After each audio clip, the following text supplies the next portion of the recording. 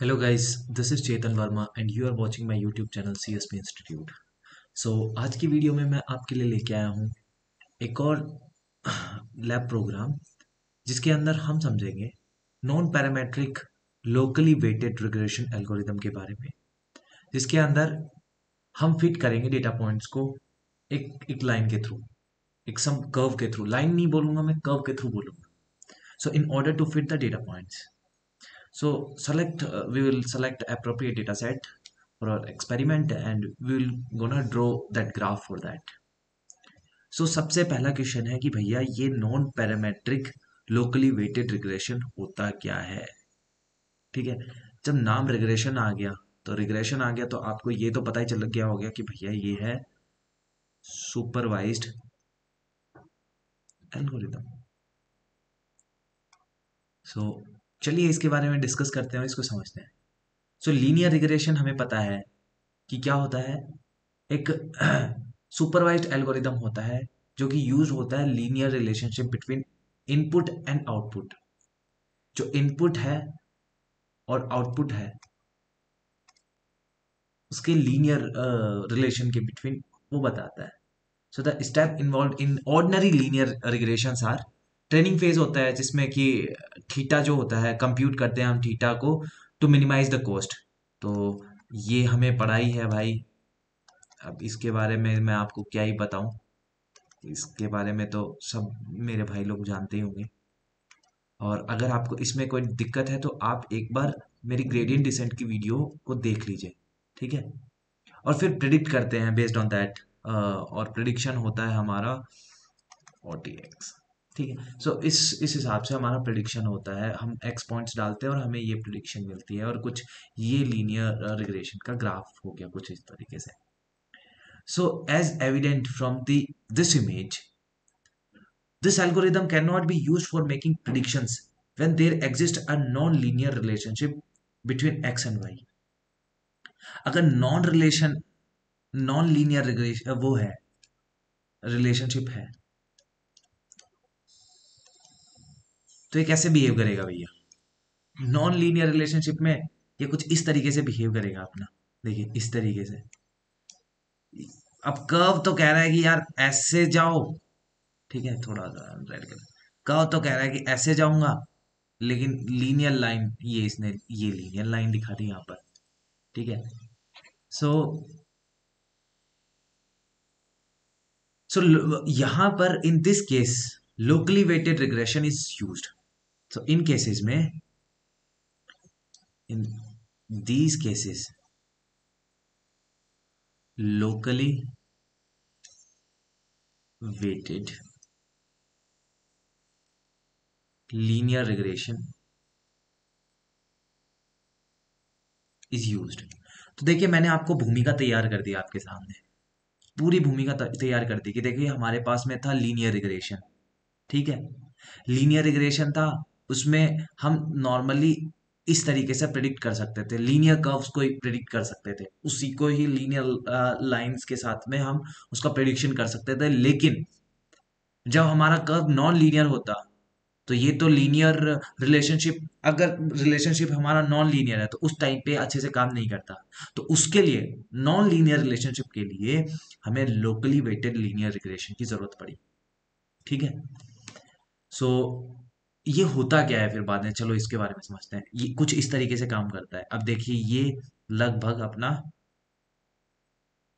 ये देखिए, ये नॉन लीनियर कर्व और उसी के अकॉर्डिंग ये प्रिडिक्शन कर रहा है। तो ये काम कैसे करता है? So locally weighted regression is a non is a non parametric algorithm it is a non parametric algorithm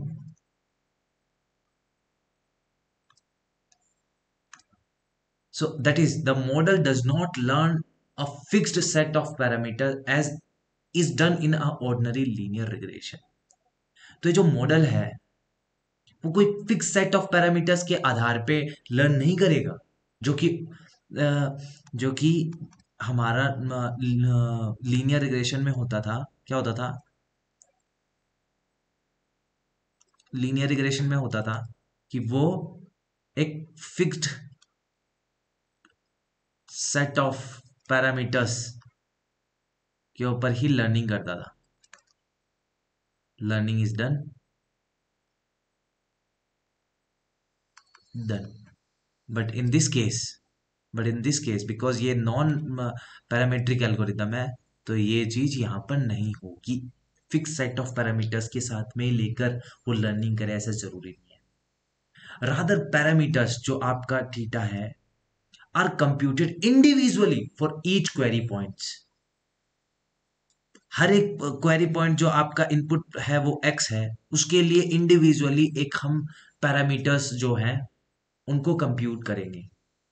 Well computing theta a higher preference is given to the points in the training set lying in the vicinity of an x than the points lying far away from x.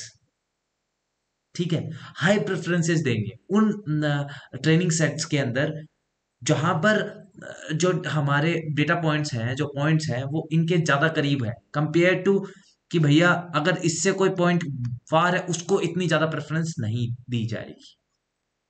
ठीक है? ये तो हो गया इसका theoretical theoretical prospective अब इसका समझते हैं हम किस तरीके से काम करता है, क्या इसके अंदर फैक्टर्स है मैथमेटिकल इंट्यूशंस की बात करेंगे इसके अंदर, ठीक है?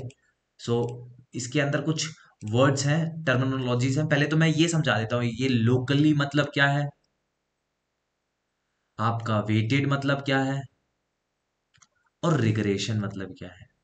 अब भैया रिग्रेशन का तो सब लोग जानते ही हैं। So locally weighted regression is instance based learning algorithm इसे हम क्या बोलते हैं? Instance based stance based based learning algorithm भी बोलते हैं। Instance based learning algorithm the phrase locally weighted regression is called local इसको लोकल क्यों बोला जाता है? सबसे पहले तो इसको लोकल क्यों बोला जाता है? लोकल क्यों है? क्योंकि जो फ़ंक्शन है is approximated based on only on data near the query point क्योंकि बिकॉज़ जो फ़ंक्शन है हमें वो अप्रोक्सीमेट करता है इज़ अप्रोक्सीमेटेड अप्रोक्सीमेटेड किसके आधार पे? Based on based only on data near the query point जो भी हमारा क्वेरी पॉइंट होगा, उसी के आधार पे फ़ंक्शन अप्रोक्सीमेट करेगा। किसको? किसको अप्रोक्सीमेट करेगा? भैया पैरामीटर्स को। बात किसकी हो रही है? पैरामीटर्स की हो रही है। तो पैरामीटर्स को किसके आधार पे अप्रोक्सीमेट करेगा? Data near the query point जो क्वेरी पॉइंट है, उसके सबसे करीबी डेटा कौन सा है? और उसका पैरामीटर क्या है? उसके आधार पे अप्रोक्सीमेट करेगा। जैसे कि हमारे पास में ये ये एक डेटा पॉइंट है। अब इन डेटा पॉइंट्स के कुछ पैरामीटर्स हमें गिवन है थीटा वन और कुछ डेटा पॉइंट्स यहाँ पर है, इसका थीटा टू है। तो एक नई क्वेरी आ गई यहाँ पर। तो इसके जो नियरर है, जो नियरर है, उसके आधार पे ही ये इसको अप्रोक्सीमेट करेगा कि ये भैया थीटा वन की इसका जो पैरामीट्रिक वैल्यू हो सकती है थीटा वन की वैल्यू हो सकती है, वो थीटा वन ही हो सकती है। इसके पैरामीटर की वैल्यू थीटा वन हो सकती है क्योंकि ये इसके करीब है। अब जब करीब की बात आ रही है करीब करीब की बात आ रही है तो क्या आपको के नियरेस्ट एल्गोरिदम की बात नहीं याद आ रही है? हम यहाँ पर के नियरेस्ट नेबर्स की बात करेंगे। के नियरेस्ट नेबर्स कौन कौन से हैं? ठीक है? अगर के नियरेस्ट नेबर्स की जो डिस्टेंस है, उनकी एवरेज डिस्टेंस है, जहाँ पर कम हुई, उसकी तरफ़ हम ज़्यादा इंक्लाइन होंगे। ये लोकल का मतलब हो गया। लोकल समझ में आ गया ना? जो डेटा नियर है उस क्योरी पॉइंट के, उसके पैरामीटर्स की वैल्यू वो फ़ंक्शन अप्रोक्सीमेट करेगा। इसको कहते हैं लोकल ठीक है?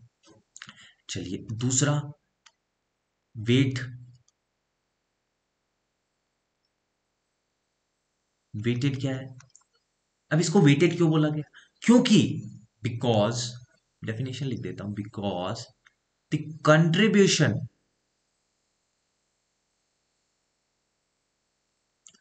कंट्रीब्यूशन है ऑफ़ ईच ट्रेनिंग एग्ज़ाम्पल हर एक जो ट्रेनिंग एग्ज़ाम्पल है, उसका जो कंट्रीब्यूशन है इज़ वेटेड उसका वेट होगा ना, कुछ सिग्निफिकेंट वेट होगा by its distance from the query point अरे वाह, ये क्या बात था? ये क्या बात कर दी? मान लीजिए हमारे पास में ये कुछ ट्रेनिंग आ, मतलब ट्रेनिंग सेट है। अब मेरे पास में क्वेरी आई ये।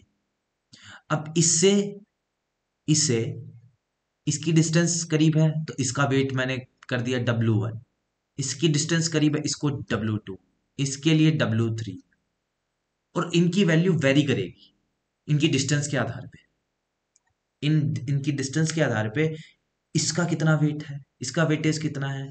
इसकी सिग्निफिकेंट वैल्यू कितनी है? इस पर्टिकुलर पॉइंट की सिग्निफिकेंट वैल्यू क्या है? तो यही बोला है कि जो कंट्रीब्यूशन है हर एक ट्रेनिंग एग्ज़ाम्पल का is weighted by its distance from the query point जो भी ट्रेनिंग जो एग्ज़ाम्पल है हमारे पास में, हमने सेट किए हैं ट्रेनिंग एग्जाम्पल्स अब जो नई क्वेरी आएगी ना, उसके से सारे के सारे एसोसिएट कर रहे होंगे, उनका कुछ वेटेज होगा वहाँ पर।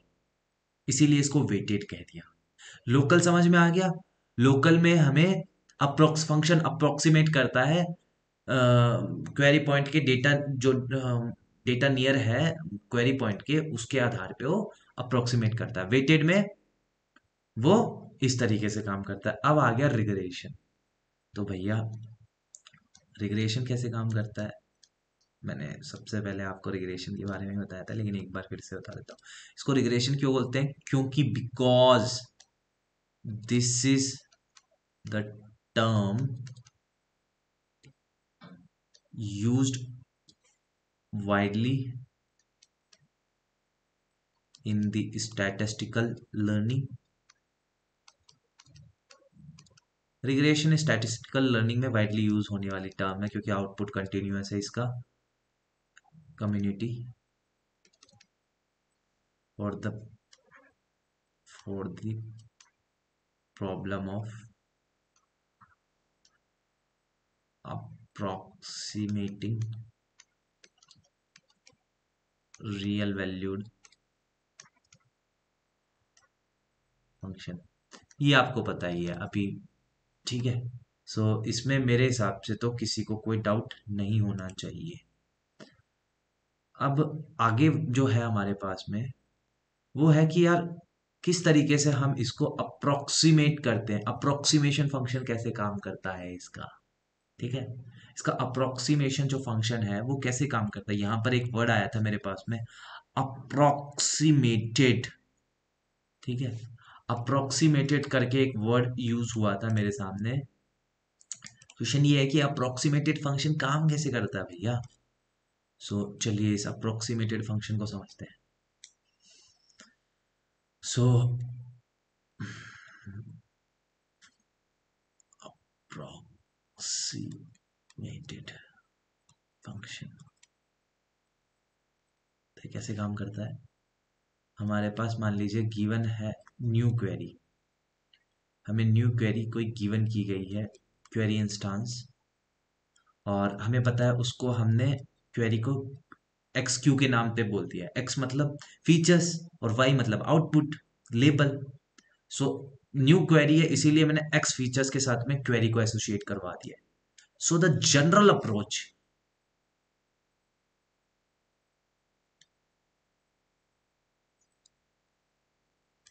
approach in locally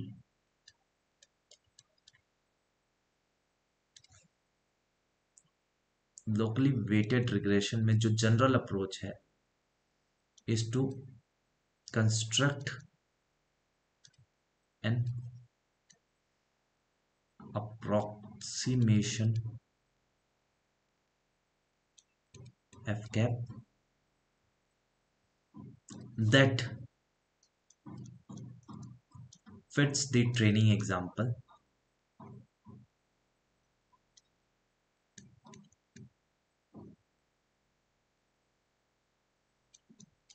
In the neighbor.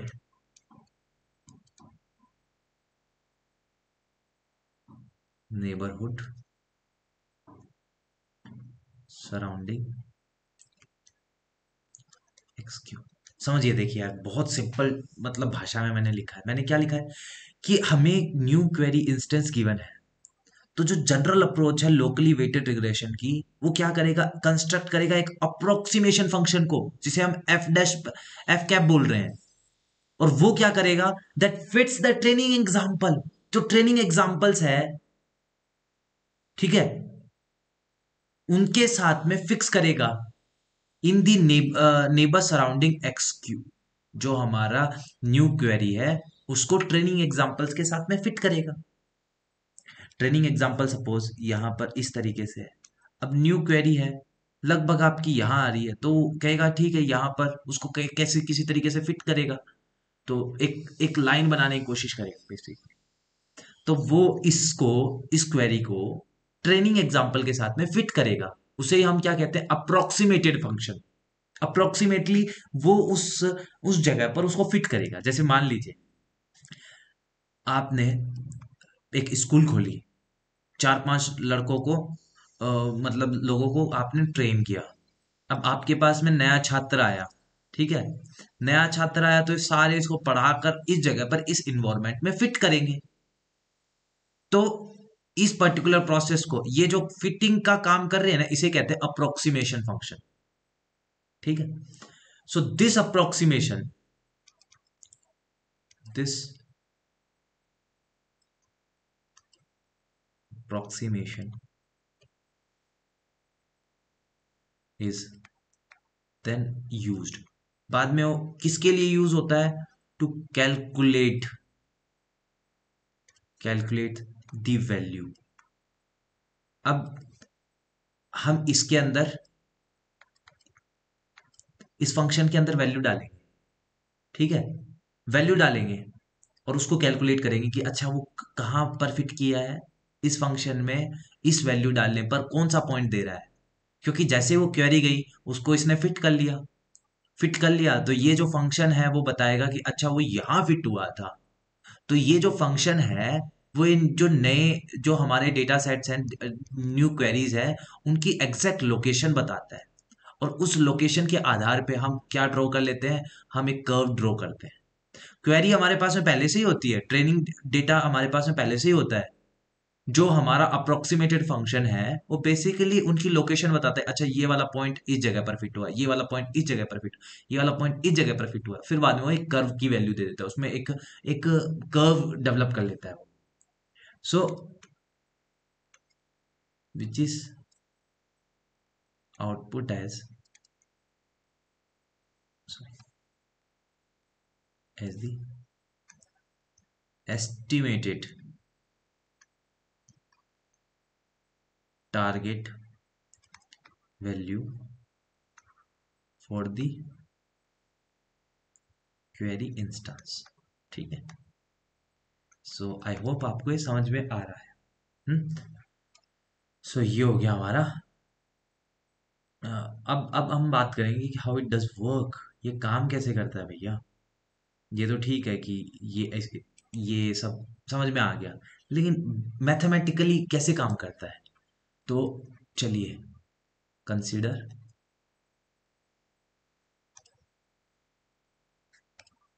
consider locally weighted regression अभी यार मैं इसको एक एब्रीवेशन दे देता हूँ। मैं इसको एल डब्ल्यू आर बोल देता हूँ। In which which the target function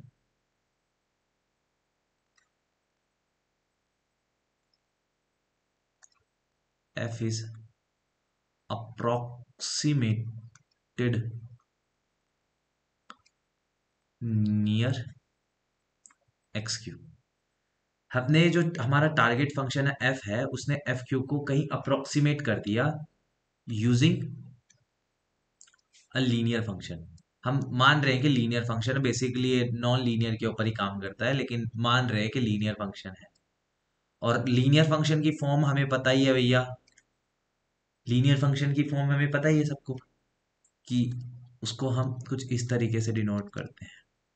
W naught W one D one पहले तो मैं लिख देता हूँ linear equation M X plus C होता है, ठीक है? और एक्स प्लस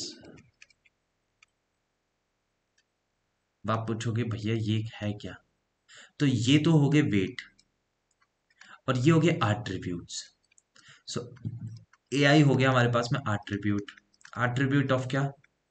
जो हमने क्वेरी दी थी ना ये फ़ंक्शन ये एक्स ठीक है? ये क्वेरी जो दी है न्यू क्वेरी जो दी है, उसके उसके मतलब आट्रीब्यूट्स हैं उसके अंदर, ठीक है?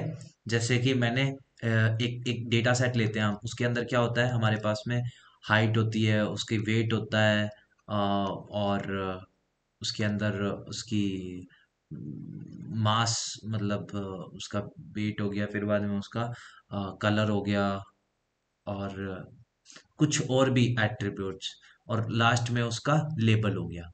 तो ये हमें पता ही है, हम ट्रेनिंग में इस तरीके की चीज़ें देते हैं ना? तो वही एट्रीब्यूट उसे हम एट्रीब्यूट बोल रहे हैं, ठीक है?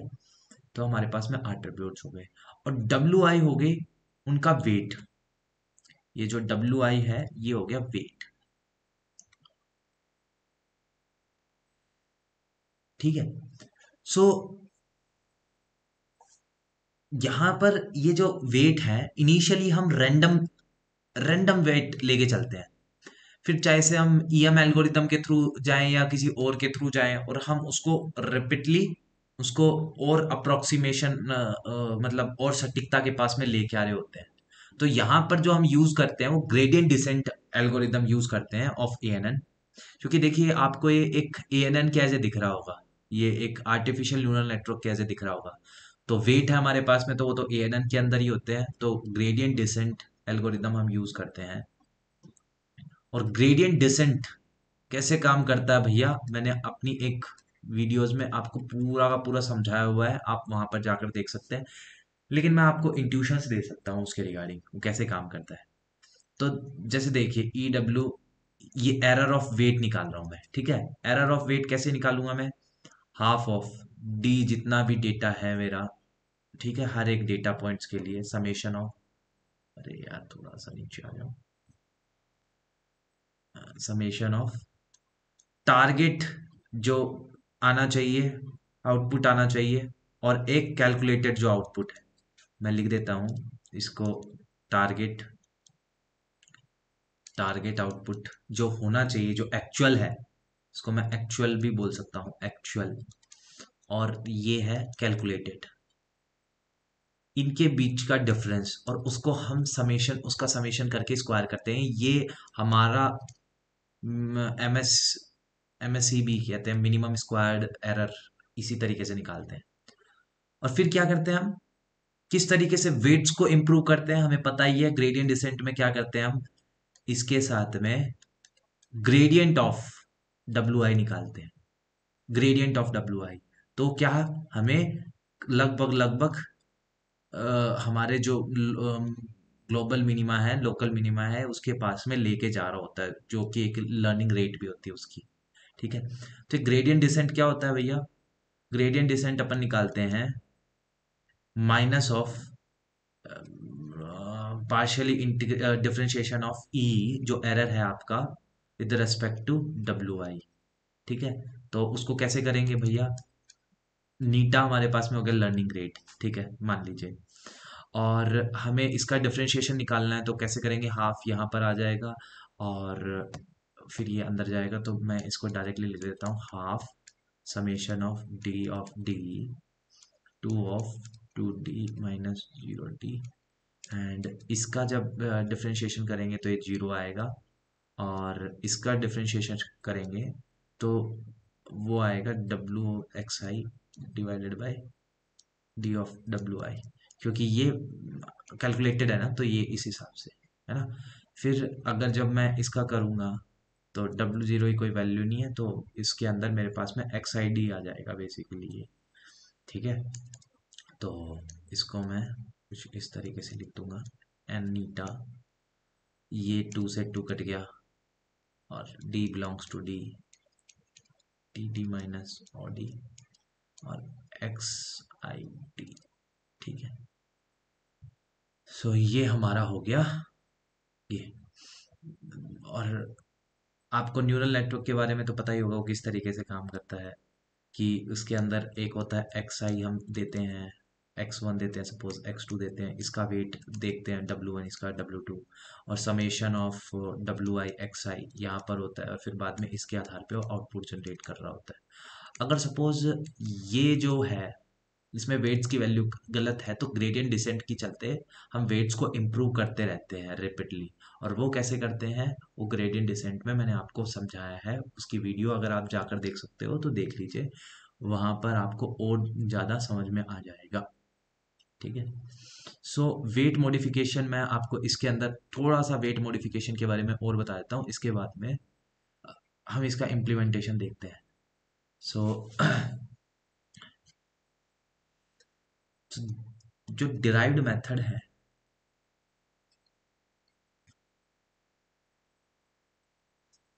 are used to choose weight हम रेंडमली वेट्स ले लेते हैं और फिर बाद में उसको उसको मिनिमाइज करने की कोशिश करते हैं। मिनिमाइज एम एस जो एम एस सी है the squared error minimize squared error को यूज़ करते हुए एरर जो कि समड है। कहा? ओवर दी सेट डी और डी क्या है हमारा? Training data set of training example ठीक है? सबका हम ले लेंगे बेसिकली एरर निकाल लेंगे और उसको मिनिमाइज करने की कोशिश करेंगे। किसके चलते? यूजिंग ग्रेडियंट डिसेंट और वो चाहे से इस इस फॉर्म में मैं बताऊँ चाहे से आप इस फॉर्म में भी देख सकते हैं। हम पैरामीटर लेते हैं और फिर बाद में उसको आ, कुछ इस तरीके से वो करते हैं। तो वो हमें पता है। तो चाहे से किसी फॉर्म में लिखो, वो सारी चीज़ें एक ही है। तो error E equal to half of x d ये जो फ़ंक्शन है, वो एक्चुअल है और ये है भाई कैलकुलेटेड एक्चुअल माइनस कैलकुलेटेड ये हमारा एरर आ जाता है, हमें है और यूजिंग ग्रेडियंट डिसेंट हम इसकी वैल्यू को अपडेट करते रहते हैं। So which lead us gradient descent training rule that is delta wj equal to neta of x over the d fx minus ये over the attribute अब ये देखिए जो x i आया था ना ये एक्स आई डी आया था ये कुछ और नहीं है आट्रीब्यूट है भैया जी ये क्या है आट्रीब्यूट हर एक आट्रीब्यूट के साथ में एसोसिएटेड ठीक है तो ये था आट्रीब्यूट भैया जी सो so, कुछ चीज़ें हमें that need to modify this process procedure to derive a local approximation rather than global one हम ग्लोबल वन के थ्रू नहीं जाएँगे लोकल अप्रोक्सीमेशन के थ्रू जाना है हमें। So the simple way to to redefine the error criteria E to emphasize fitting the local training uh, examples. So locally हम कैसे करेंगे भैया इसको? हमें ग्लोबली नहीं जाना है लोकली जाना है। तो एरर वन बना लेते हैं ओवर दी क्वेरी जो हमें न्यू क्वेरी मिली है। सो हाफ़ अब हम लोकली बात कर रहे हैं तो हम सिर्फ़ और सिर्फ़ throughout the data points के साथ में नहीं जाएँगे। यहाँ पर हम throughout the data points training data set के साथ में जा रहे थे, अब यहाँ पर ऐसा नहीं करेंगे। हम ये क्या करेंगे सिर्फ़ और सिर्फ़ के नियरेस्ट नेबर्स के साथ में जाएँगे। के नियरेस्ट नेबर्स के साथ में। बस ग्रेडियंट डिसेंट लगाओ on the based on k nearest neighbours of nearest अरे यार नियरेस्ट नेबर्स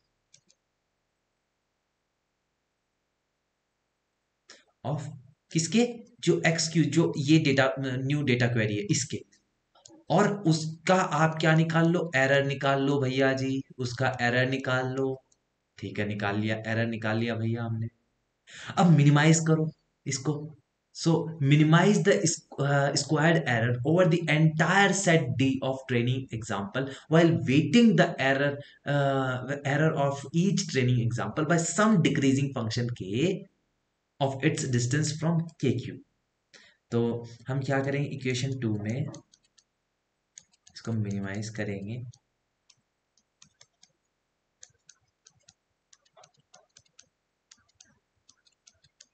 लेकिन यहाँ पर एक कैच है। यहाँ पर क्या कैच है? के तो हो गया के नियरेस्ट नेबर्स ठीक है? सो so, हमें क्या करना मिनिमाइज करना स्क्वायर एरर को।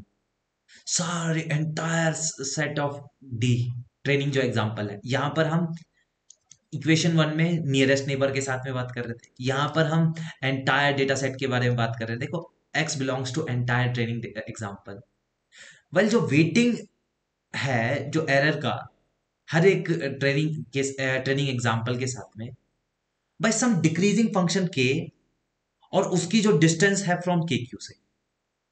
ठीक है?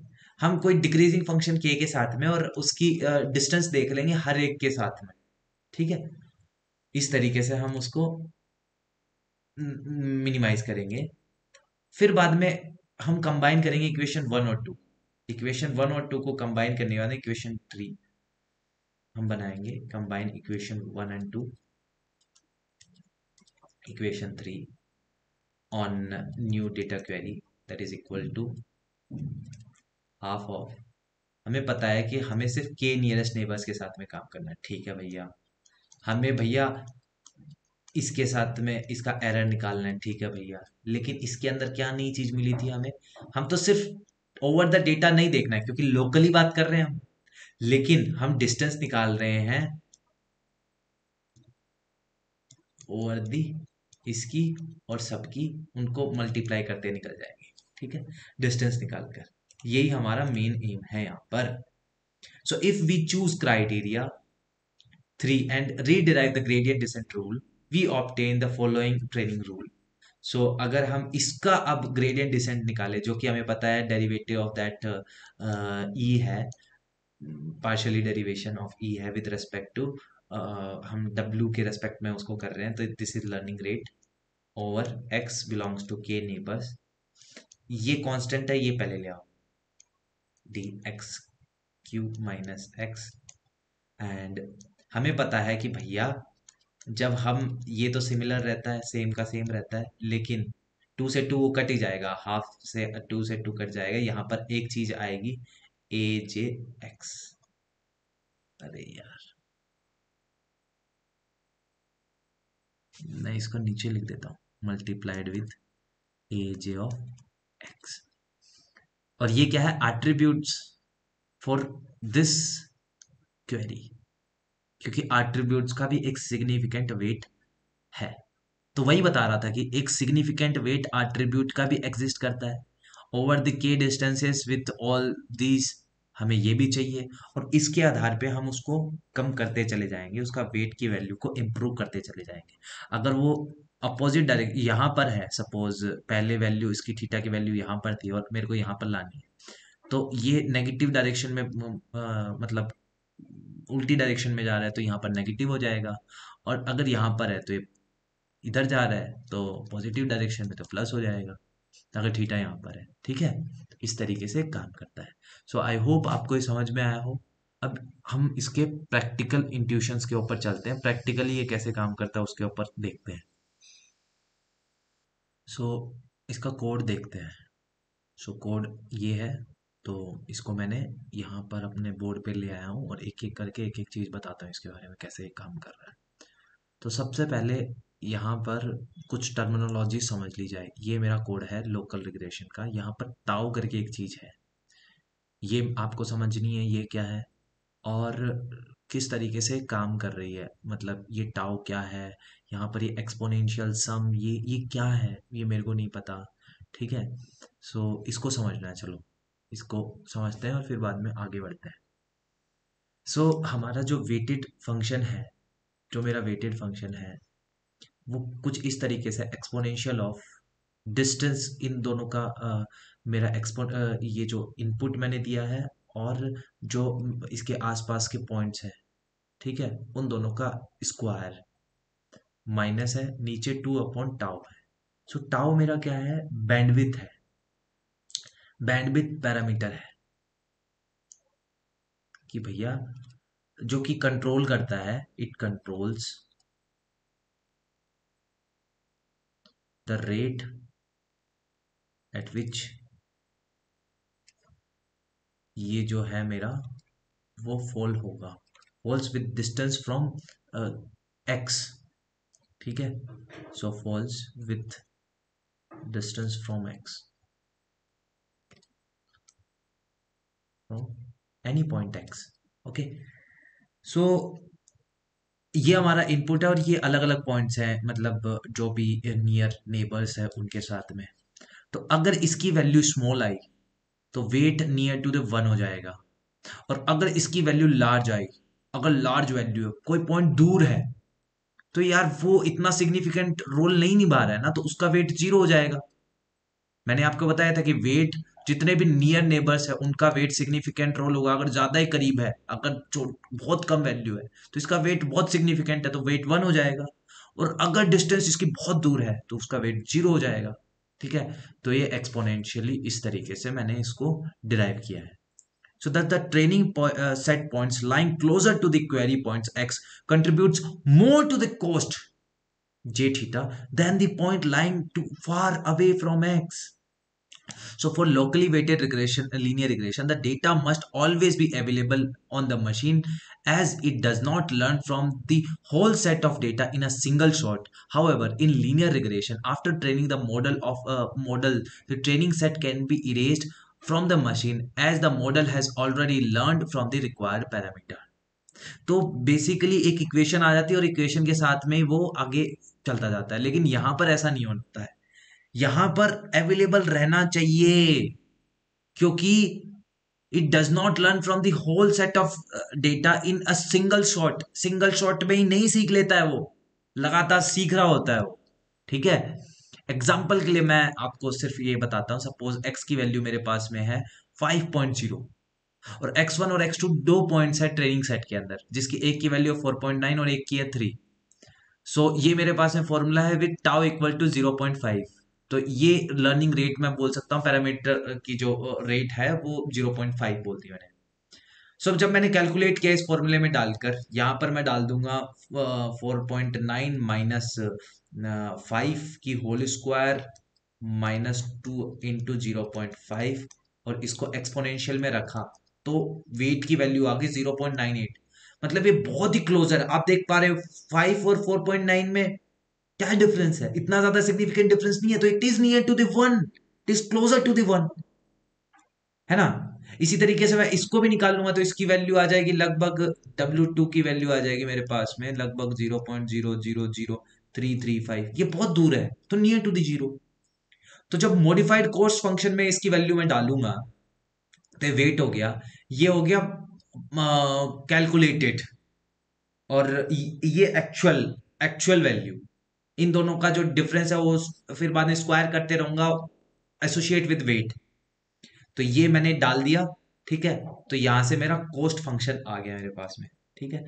और इसको मेरे को मिनिमाइज करना है बेसिकली है ना? सो so, ये कुछ इस तरीके से काम करता है तो आई होप आपको ये समझ में आया। So then the weight falls falls as the distance between x and x i increases and so does the contribution of error in prediction from xi to the cost consequently while computing theta we focus more on reducing this value we focus more on this reducing this value for each data point closer to the query point having a larger value of wi ठीक है सो so, हम इसको significantly कम कर रहे होंगे ये हमारा actual cost function हो गया ठीक है? सो so, मैंने ऊपर भी आपको एक चीज़ करके दिखा दी थी कि हम दो चीज़ एक साथ में काम कर रहे हैं। एक तो वेट के साथ में और एक फ़ंक्शन के साथ में। दो चीज़ों को एक साथ लेकर चल रहे थे। एक तो वेट के साथ में और एक फ़ंक्शंस को भी हम डिड्यूस कर रहे हैं। तो ये ग्रेडियंट डिसेंट के बारे में आपको मैंने पहले ही बता दिया था। सो so, टाओ आपको समझ में आ गया? आई होप ये टाओ आपको समझ में आ गया। ठीक है? अब इसके बारे में ये देखिए। मैं एक एक चीज़ यहाँ पर डिराइव करता हूँ। आपको बताता हूँ कि ये है क्या। ठीक है? यहाँ पर एक एक चीज़ के बारे में लीनियर रिग्रेशन फ़ंक्शन सबसे पहले ये लोकल रिग्रेशन फ़ंक्शन को समझते हैं ये क्या है। सो एक्स नॉट क्या है सबसे पहले यहाँ पर? एक्स नॉट है हमारा the point at which the local regression is centered centered वो पॉइंट जहाँ पर जो लोकल रिग्रेशन है, वो सेंटर्ड है। ठीक है? एक्स हमारा क्या हो गया? इनपुट डेटा पॉइंट हो गए। डेटा पॉइंट्स हो गए फॉर द रिग्रेशन ठीक है? वाई हमारा उसका कॉरेस्पॉन्डेंस आउटपुट हो गया। कॉरेस्पॉन्डिंग आउटपुट हो गया। आउटपुट हो गया। और टाउ क्या हो गया? बैंडविथ हो गई। Bandwidth parameters controlling the weight of data points in a local regression so bandwidth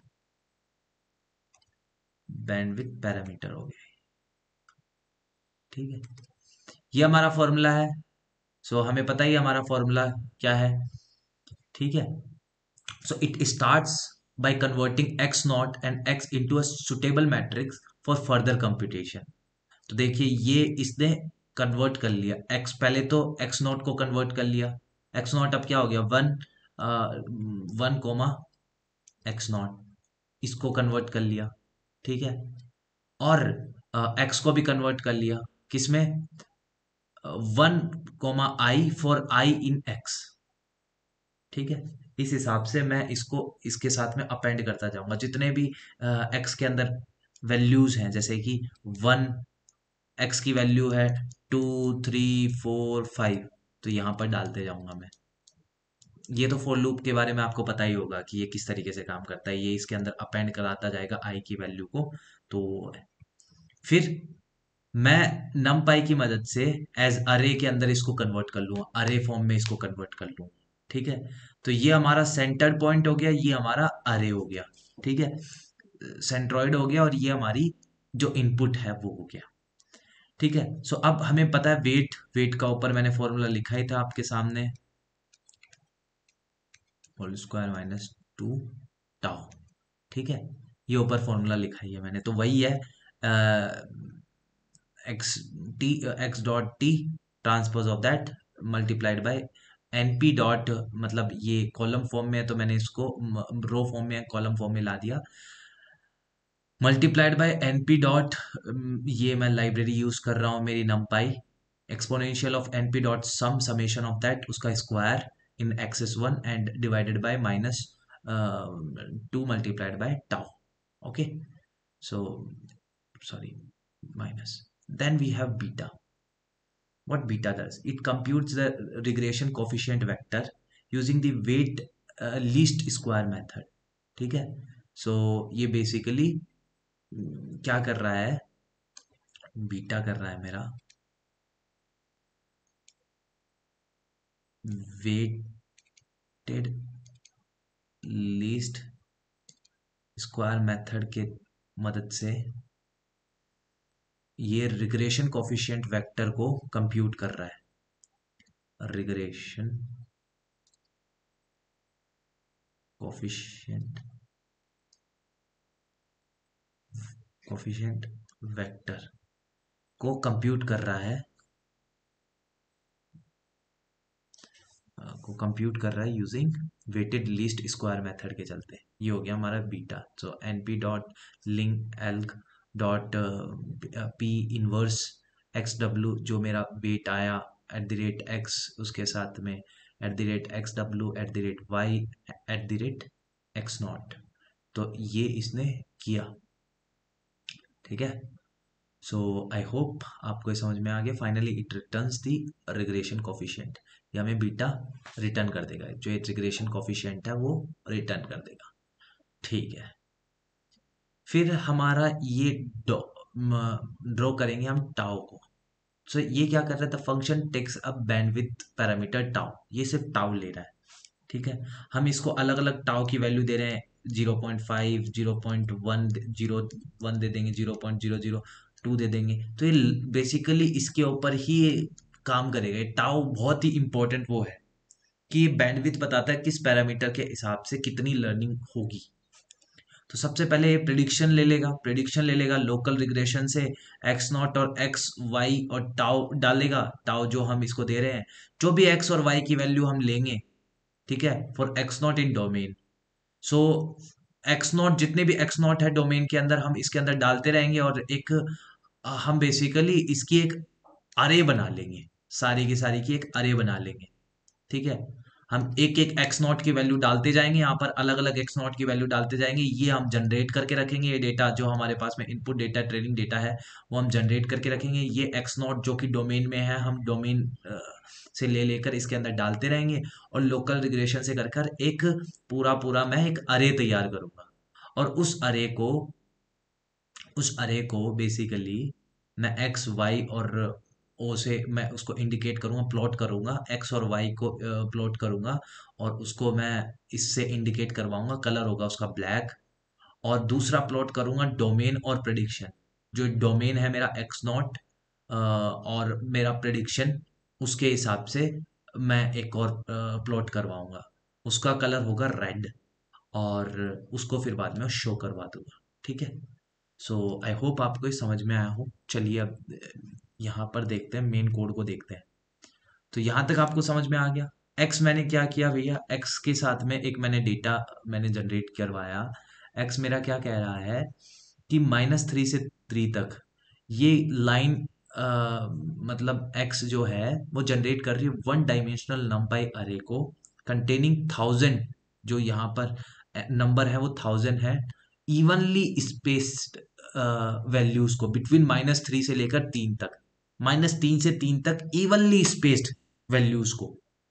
So NP dot line space हो गया। This is a numpy function that generates evenly spaced value ये evenly spaced value को over a specified range उसको generate करता है। The name line space stand for linear space इसको मैं कह देता हूँ। Linear linear space okay then we have converted into domain इसी से मैंने डोमेन भी बना ली। और वाई के लिए मैंने क्या किया? सेम यही काम मैंने y के लिए भी किया। आ, कुछ इस तरीके से मैंने वाई से एसोसिएटेड वो भी निकाल लिए। तो ये वाई क्या कर रहा है? लॉग फ़ंक्शन को यूज़ कर रहा है। Why this is compute the dependent variable y based on uh, based on the mathematical expression involving the value in array x whatever the value we are providing x okay and using this function so what we are doing abs stands for absolute value of each uh, element abs इसका absolute निकाल लिया x square minus one करके plus उसके अंदर 0.5 वो कर दिया plus कर दिया और उसका log function so log function आपको पता ही है वो कैसे काम करता है अगर आपको लॉग जानना है तो लगभग कुछ इस तरीके से काम करता है लॉग ठीक है? लेकिन यहाँ पर कुछ और कहानी है। देखते हैं वो प्रिडिक्शन उसकी किस तरीके से चलती है। सो so, चलिए यहाँ पर टाउ की वैल्यू जब हमने टेन दी तब वो कैसे काम कर रहा है? ज़ीरो पॉइंट वन दी कैसे काम कर रहा है? ज़ीरो पॉइंट ज़ीरो वन दी तो कैसे काम कर रहा है? Zero point zero zero one दी तब वो कैसे काम कर रहा है? अलग अलग टाउ की वैल्यू कैसे काम कर रही है हम देखते हैं।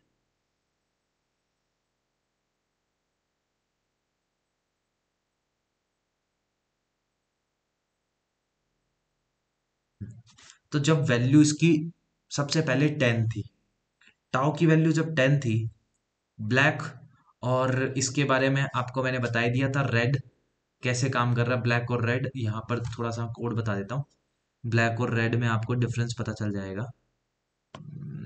ड्रॉ कहाँ है भैया? ब्लैक हो गया सिर्फ़ नॉर्मल एक्स और वाई वाले के लिए ब्लैक और प्रिडिक्शन वाले के लिए रेड तो हमारा प्रिडिक्शन वाला रेड है। तो देखिए, ये हमारा एक्चुअल एक्चुअल कर्व है और ये हमारा प्रिडिक्टेड कर्व है। टाउ की वैल्यू टेन है। जब टाउ की वैल्यू टेन है तो इसके फिटिंग वैल्यू इतनी अच्छी नहीं है। ठीक है? इतने अच्छे से फिट नहीं हो रहा है। टाउ की वैल्यू मैंने 0.01 की तो ये लगभग अच्छे से सॉरी वन की तो ये अच्छे से देखिए, ये फिट बैठ रहा है। टाउ की वैल्यू को मैंने क्या किया? दूसरे में ज़ीरो पॉइंट वन किया ना ज़ीरो पॉइंट वन हाँ। अब, जब मैंने टाउ की वैल्यू को और कम किया, और रिड्यूस किया तो यहाँ पर तीसरी फिगर में देखिए, और इसके अंदर अच्छे से फिट हो रहा है। और जब टाउ की वैल्यू को और कम किया तो वेट और अच्छे से आ रहा है। तो देखिए, यहाँ पर मैंने आपको बताया है कि जो टाउ है वेट से tau is inversely proportional tau की वैल्यू कम होगी तो वेट ज़्यादा से ज़्यादा बढ़ेगा और वो more near to the prediction अच्छी प्रिडिक्शन वो देगा। ठीक है? तो देखिए, और अच्छे से वो फिट हो रहा है कर्व में। इसे हम कहते हैं locally weighted regression so I hope आपको ये वीडियो समझ में आई हो। इसके अंदर ये प्रोग्राम है, समझ में आया हो। आपको, मेरा सजेशन ये रहेगा कि यार आप एक बार इस कोड को खुद से लिख के देखिए, करके देखिए तो और ज़्यादा आपको अच्छे से समझ में आएगा। ठीक है? आप ज़्यादा से ज़्यादा लिखोगे, करोगे तो ज़्यादा समझ में आएगा आपको। So thank you for watching my this video happy learning